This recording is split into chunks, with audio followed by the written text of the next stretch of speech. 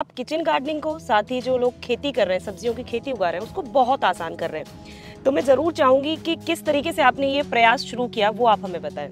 ये ट्रेज होती है ये लगाने लायक ट्रे हैं। आप हम्म। देखेंगे बिल्कुल हेल्दी ट्रे हैं। किसी तरह का कोई इसमें डिज़ीज़ नहीं है। डिज़ीज़ फ्री है वायरस फ्री है बैक्टीरिया फ्री है। और ये जब ये प्लांट लगभग डेढ़ से दो इंच का हो जाता है तब ये लगाने लायक हो जाता है। हम्म, आप इसको आराम से लगा सकते हैं और इसमें कोई किसी तरह की मोटिलिटी कोई मरद कुछ तरह का कोई दिक्कत नहीं आई अब ये चिल्लीज हैं, ये फुल साइज़ की मेच्योर हो चुकी है।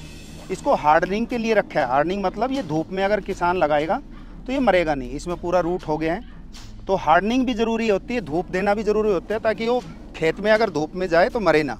के टाइम पे आप खुद ही नोट कर रहे होंगे कि महिलाओं ने या कुछ लोगों ने अपनी छतों पर जो किचन गार्डनिंग का क्रेज एक नया कॉन्सेप्ट जो शुरू हुआ है, उसमें आप मदद कर पा रहे हैं उनकी? बिल्कुल, हमारे पास बहुत क्लाइंट है। हम इसको प्रमोट करते हैं कि भी किसान ज़्यादा से ज़्यादा सीडलिंग से अपने खेतों में लगाए, उसका टाइम भी बचेगा, उसको हेल्दी प्लांट भी मिलेंगे और उसकी कॉस्ट भी कम हो जाती है। जो वो जितनी भी वो फ़सल उगाता है, वो लगभग एक साल में तीन तीन फ़सल कम से कम ले। नमस्कार दोस्तों, मैं Anju Singh unique farming channel पर एक बार फिर से आपका स्वागत है। तो दोस्तों, आज हम आ गए हैं आपकी फ़ार्मिंग और किचन गार्डनिंग को आसान करने। तो होता यूँ है कि लोग सब्ज़ियाँ लगाना तो चाहते हैं, लेकिन जैसे ही वो बीज लगाते हैं तो उनका बीज अच्छे से ग्रो नहीं करता, या वो अच्छे बीज खरीद नहीं पाते। पौधा ग्रो कर जाता है, लेकिन टेम्परेचर मेंटेन नहीं कर पाते, जिसकी वजह से पौधा जल जाता है। तो आज इस सभी समस्या का सोल्यूशन हम लेकर आ गए हैं अशोक यादव जी के साथ। दरअसल अशोक जी अपने फार्म हाउस पर सब्जियों और फूलों की पौध तैयार करते हैं। तो इस वीडियो में हम उनसे जानने वाले हैं कि वो किस तरीके से ये पौध तैयार करते हैं, किस तरीके से वो टेम्परेचर मेंटेन करते हैं, जब वो आपको पौध देते हैं तो किस तरीके से बहुत अच्छे से सर्वाइव हो पाता है और आपकी फ़ार्मिंग और गार्डनिंग आसान हो जाती है। और इसके साथ ही मैं आपको बताना चाहती हूँ कि ये कोई भी प्रमोशन वीडियो नहीं है। दरअसल हम जितने भी फार्मर्स के पास या किचन गार्डनिंग एक्सपर्ट्स के पास जाते हैं, उनके साथ ये दिक्कत आती है कि उनको सही बीज मिल नहीं पाता। मिलता है तो बल्क में बहुत ज़्यादा बीज मिलता है, जो जिसमें से बहुत सारा यूजलेस हो जाता है। क्योंकि इस तरीके से किसान यहाँ से बल्क में पौध खरीद सकता है, जिसकी वजह से उसे अपने यहाँ पर बीज लगाने की डायरेक्ट बीज लगाने की या बीज उगाने, उसकी टेंशन से उसकी मुक्ति हो सकती है और इसके साथ ही किचन गार्डनिंग जिसमें बहुत ज़्यादा बल्क में बीज मिलते हैं दुकान से वो एक प्रॉब्लम सॉल्व हो जाएगी क्योंकि यहाँ से वो लिमिटेड जितनी पौध होने चाहिए वो यहाँ से लेकर जा सकते हैं। तो चलिए ज़्यादा देरी न करते हुए मिलते हैं अशोक जी से। इससे पहले यदि अभी तक आपने अपने YouTube चैनल यूनिक फ़ार्मिंग को सब्सक्राइब नहीं किया है तो अभी सब्सक्राइब करें साथ ही बेल आइकन भी दबाएँ ताकि आगे आने वाली वीडियोस की नोटिफिकेशन आपको मिलती रहे। नमस्कार सर। नमस्कार जी।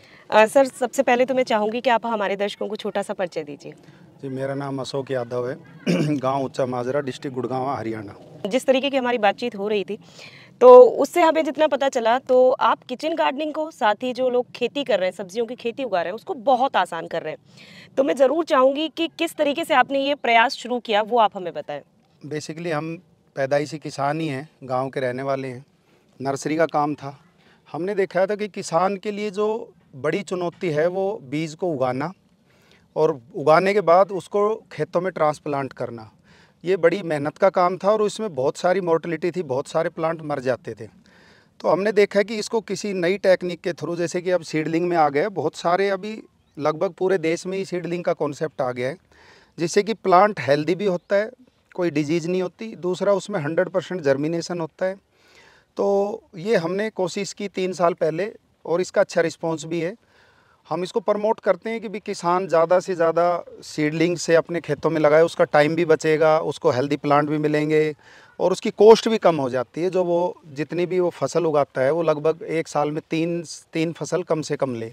तो ये सब जो है हमने जो शुरू किया है बेसिकली ये किसान का काम कम करना और हेल्दी उसको कम कॉस्ट में उपलब्ध कराना। ठीक है एक चीज़ और है आज के टाइम पे आप खुद ही नोट कर रहे होंगे कि महिलाओं ने या कुछ लोगों ने अपनी छतों पर जो किचन गार्डनिंग का क्रेज एक नया कॉन्सेप्ट जो शुरू हुआ है उसमें आप मदद कर पा रहे हैं उनकी? बिल्कुल हमारे पास बहुत क्लाइंट है। मैं तो कहता हूँ इंडस्ट्रियल क्लाइंट भी हमारे पास आने लग गए हैं। जो कंपनियों की छतें हैं उन पे भी ग्रीन हाउसेज बना रहे हैं उन पे भी किचन गार्डनिंग हो रहा है।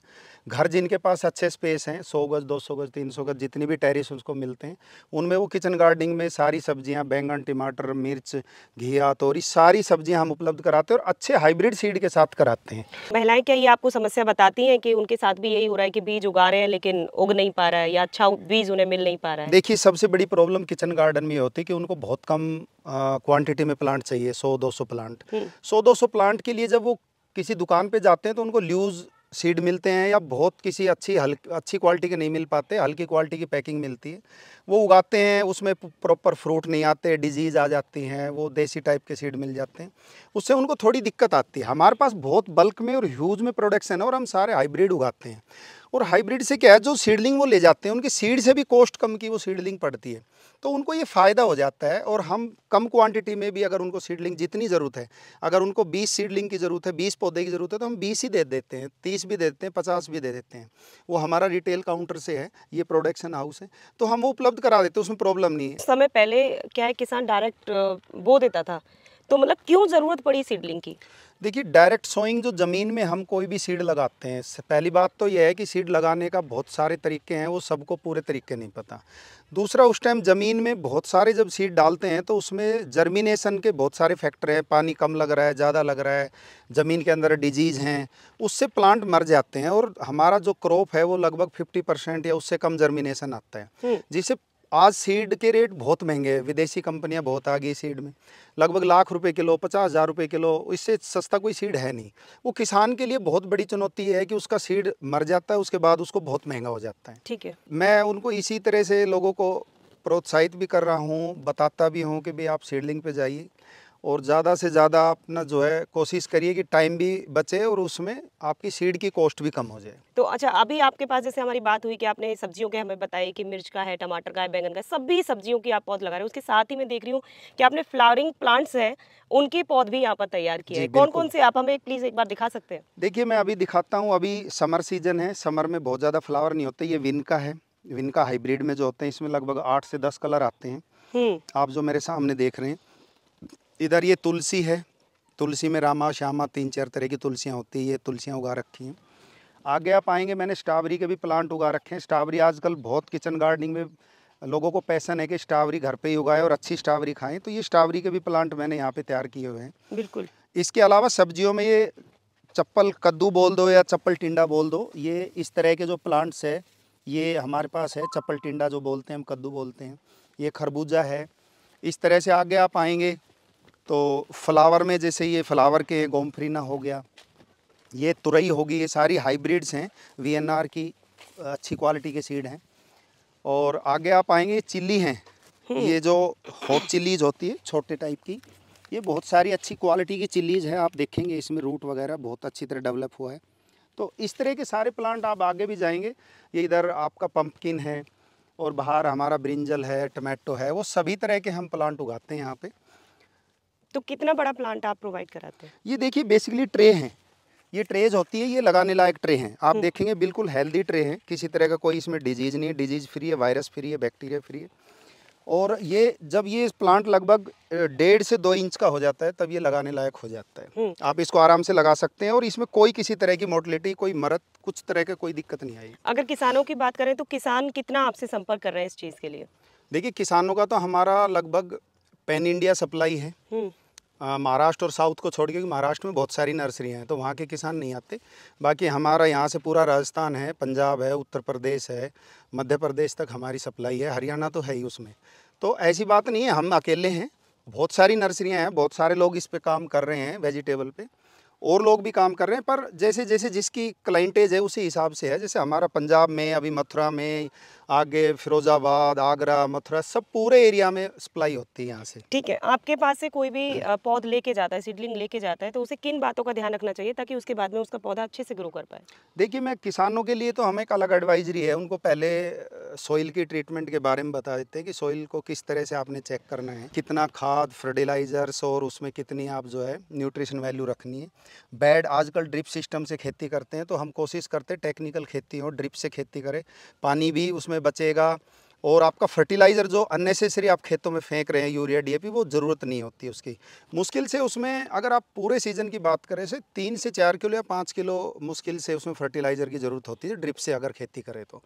अगर आप आप खुले में खेती कर रहे हैं ओपन खेती कर रहे हैं ओपन बेड पे कर रहे हैं तो उसमें लोगों को एक्चुअल में पता ही नहीं होता कि हमारे खेत को यूरिया की ज़रूरत है या डीएपी की ज़रूरत है या फास्फोरस की ज़रूरत है पता नहीं होता वो अननेसेसरी डालता रहता है उसमें। राइट तो हम ये लोगों को समझाते भी है जब आते हैं कि सबसे पहले आप ज़मीन का टेस्ट कराएँ उनमें कितनी फास्फोरस है कितना नाइट्रोजन है अगर ज़रूरत नहीं है तो उसमें अननेसेसरी खाद ना दें। ठीक है और बात किचन गार्डनिंग की हो अगर? हाँ जी किचन गार्डनिंग के लिए मैं प्रेफर ये करता हूँ कि हमारे पास सोइलेस मीडिया होते हैं जैसे हमने अभी आपने देखा होगा ये कोकोपिट वगैरह का मीडिया तैयार होता है जिसमें हम सीडलिंग उगाते हैं।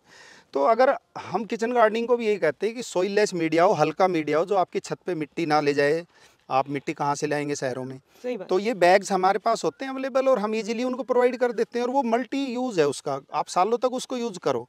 केवल उसमें आप अपना मैन्योर मिक्स करते रहो हर बार उसमें vermicompost vermiculite perlite use करते रहो और चलाते रहो कोई प्रॉब्लम नहीं आती उसमें कभी भी। जैसा कि सर आपने बताया था कि बीज उगाना सच में एक चुनौती भरा काम रहता है लेकिन मैं आपसे पूछना चाहूँगी कि आप किस तरीके से बीज उगाते हैं जिसके बाद वो इतने लंबे टाइम तक अच्छे से सर्वाइव करते हैं अच्छे से ग्रो करते हैं? देखिए मैं अभी आपको दिखाता हूँ ये हमारा मीडिया है। ये जो मीडिया है इसमें आप गौर से देखेंगे इसमें कोकोपिट्स हैं परलाइट्स हैं वर्मिकोलाइट्स हैं और इसके अंदर फंगीसाइड एडिड कर दिया गया और माइक्रोन्यूट्रिएंट एडिड कर दिए गए हैं ताकि प्लांट को सारा न्यूट्रिशन इसमें मिलता रहे। ये हमारी प्रोट्रे हैं, ये रिफल कर दी गई हैं। इस प्रोट्रे के अंदर एक एक सीड ऐसे डाला जाएगा इसमें, लाइन वाइज। अभी सीड डाल के इसको पूरा पैक कर दिया जाएगा। इसके बाद सीड जर्मिनेशन के लिए जर्मिनेशन चैम्बर में इसको डाल दिया जाएगा। जर्मिनेशन होने के बाद हम इसको टनल में और पोली हाउस में ले जाएँगे। अब ये जमने के बाद इसमें फिर हम प्रक्रिया करते हैं कि उसमें जो टाइम टू टाइम इसमें फंगिसाइड, टाइम टू टाइम इसमें फर्टिलाइजर्स, जो इसको ज़रूरत है, नाइट्रोजन, फास्फोरस या पोटास, जिसकी भी जो ज़रूरत, जिस टाइम पे होती है, वो हम उसको प्लांट को अलग अलग प्लांट को अलग अलग चीज़ें ज़रूरत होती है तो उसी हिसाब से हम देते हैं ठीक है अगर टेम्परेचर की हम बात करें तो जैसे हमने ग्रो कर लिया बीज तो हमारा उगाया लेकिन ज़्यादातर ऐसा होता है जल गया मर गया क्या वो कारण रहते हैं? क्या आप यहाँ पर किस तरीके से टेम्परेचर कितना देते हैं? मैं वही बताता हूँ जी समर के चैलेंजेज अलग हैं सर्दियों के चैलेंजेज अलग है। समर में हमें क्या होता है कि नेट हाउसेज तैयार करने होते हैं जो आप देख रहे हैं ऊपर ये नेट हाउसेज हैं। नेट हाउस में हम पूरा इसको किस तरह से टेम्परेचर को कम कर सकते हैं? धूप ना लगे टेम्परेचर कम से कम रहे। तो ये समर के लिए नेट हाउसेज प्रॉपर हम रेडी करते हैं। सर्दियों में हमें क्या ज़रूरत होती है? सर्दियों में सर्दी ज़्यादा होती है तो उसके लिए हमें पोली हाउस की ज़रूरत पड़ती है। उसमें हम टेम्परेचर लगभग 15 से 20 डिग्री टेम्परेचर मेंटेन करके रखते हैं। अभी जो टेम्परेचर हमारा 30 से 35 तक टेम्परेचर मेंटेन रहेगा नेट हाउस के अंदर। देखिए जो आप बता रहे थे अभी टेम्परेचर का बड़ा इशू होता है टेम्परेचर के चैलेंजेस क्या है? अभी देख रहे हो टनल हमने पूरी कवर की है ब्लैक नेट से। ये हमारा फ़र्स्ट स्टेज का जर्मिनेशन है। अभी ये ब्रिंजल हमने उगाया है। आप ब्रिंजल को देखेगा, अभी ये टू लीव्स दो ही लीफ है थर्ड लीफ इसमें आ रहा है। अभी अगर ये टेम्परेचर अभी का देखें तो हम 40 डिग्री के आसपास टेम्परेचर है। अगर हम इसको ओपन रख देंगे तो शाम तक ख़त्म हो जाएगा फिनिश हो जाएगा। अभी हमने इसको टेम्परेचर मेंटेन करने के लिए पूरा ब्लैक नेट इसमें हमने लगाया हुआ है। और ये पूरा, इसमें पूरा बेड के अंदर आप देखेंगे आप देखेंगे नीचे से थोड़ा कैमरा करके, पूरा बेड है, नीचे तक लगभग सौ, डेढ़ सौ फुट लंबा ये पूरा टनल है। और इसमें अभी ये सारे ब्रिंजल उगाए हुए हैं। अब इसका मैं सेकंड स्टेज आपको दिखाता हूँ। आप इधर से आइए। क्योंकि धूप में भी हमें बाहर ओपन में इसलिए रखना पड़ता है कि प्लांट को अगर हम अंदर ही रखेंगे तो ये पूरा बहुत बड़ा हो जाएगा, लंबा हो जाएगा। अब ये चिल्लीज़ हैं, ये फुल साइज़ की मेच्योर हो चुकी है। इसको हार्डनिंग के लिए रखा है। हार्डनिंग मतलब ये धूप में अगर किसान लगाएगा तो ये मरेगा नहीं। इसमें पूरा रूट हो गया है। तो हार्डनिंग भी ज़रूरी होती है, धूप देना भी ज़रूरी होता है, ताकि वो खेत में अगर धूप में जाए तो मरे ना। तो हम इसको हार्डनिंग भी कर रहे हैं। अब ये पूरा मेच्योर प्लांट है। अभी ये इसकी फाइनल स्टेज थी। ये फ़र्स्ट स्टेज ऑफ़ टमाटो है। टमाटो की पहली स्टेज है। ये भी टू लीव्स है। अभी इसको भी हमने धूप में इसीलिए रखा है ताकि ये पूरा हार्ड हो जाए, हार्डनिंग हो जाए और ये प्लांट मरे ना, खेत में जाके, फ़ील्ड में जब, तब हम लगाएँगे प्लॉट में। तो ये मरेगा नहीं। ये पूरा धूप से सहन शक्ति इसकी पूरी तैयार हो जाएगी। ये पूरा कोई दिक्कत आएगी नहीं किसान को इसको खेत में लगाने के लिए, चाहे कितना भी टेम्परेचर हो। तो इसलिए हम इसको धूप में ले आए। और इसको कवर दिन में इसलिए करते हैं कि टेम्परेचर से बचाएँ, शाम को इसको ओपन कर देंगे सुबह और शाम। तो दोस्तों, आपने देखा कि किस तरीके से अशोक जी जो है किचन गार्डनिंग हो गई फ़ार्मिंग हो गई, उसको आसान करते जा रहे हैं क्योंकि उसकी पौध वो पहले ही तैयार कर देते हैं। जो दिक्कतें अक्सर किसानों को होती हैं कि वो किस तरीके से बीज उगाएँ, जो दिक्कतें किचन गार्डनिंग में लेडीज़ों को होती है कि वो उनके बीज वो बो तो देती हैं लेकिन उगते नहीं है, उग जाते हैं तो टेम्परेचर मेंटेन करने में दिक्कत होती है जिसकी वजह से पौधे मर जाते हैं। तो वो सभी का सॉल्यूशन ये वीडियो थी तो मुझे लगता है कि ये सारी जानकारी आपको बहुत पसंद आई होगी। अगर ये सारी जानकारी आपको पसंद आई है तो वीडियो को लाइक और शेयर करना ना भूलें और चैनल को सब्सक्राइब करें। धन्यवाद।